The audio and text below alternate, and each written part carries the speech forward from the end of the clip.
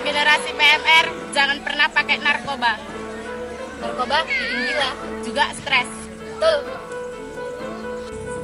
Narkoba, apa pun alasannya harus kita jauhi. Kalau kamu, Ya iyalah, sudah sepantasnya untuk kita jauhi. menurut kamu? Hah? Narkoba, haram. Narkoba, narkoba itu bukan sahabat kita. Kami, anak paskibra, anti narkoba. Say no to narkoba.